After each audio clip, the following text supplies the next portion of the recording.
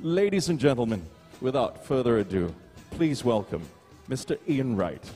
And let's face it, I am the luckiest bastard in the world, yeah? Because I have the best job in the world. But feel free to hate me, yeah? That's just a natural feeling, yeah? It starts here and it works its way up and it gets on there. So just go with that. Everyone feels that way, you know. So